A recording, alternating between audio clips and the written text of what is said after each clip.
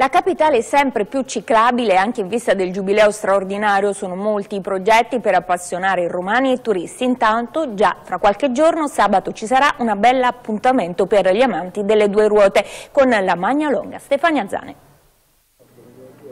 Andare fino in centro in bicicletta, magari passando da un posto così. Siamo al parco di Monteciocci, una pista ciclabile lunga 5 km lo collega da un lato a Montemario, dall'altro alla stazione di Valle Aurelia. Per il Giubileo si pensa di allungare la pista fino a San Pietro. È un pezzo del progetto che dovrebbe collegare tutti i tratti di ciclabili della capitale fra di loro.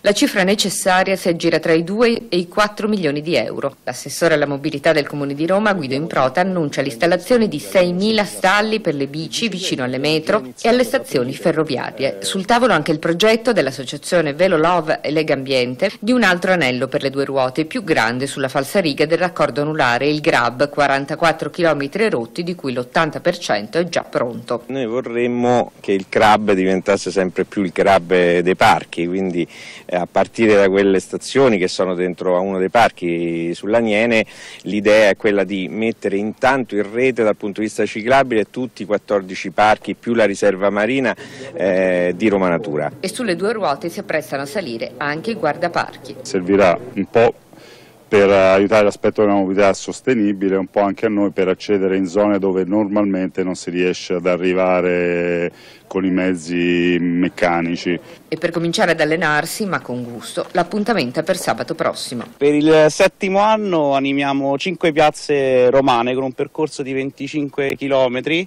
con oltre 500 ciclisti, degustando in ogni tappa le eccellenze gastronomiche del nostro paese. Ospiti d'onore i fighi bianchi del Cilento da Marina di Camerota, i formaggi toscani di Castiglione della Pescaia e la norcineria di Rocca Priora.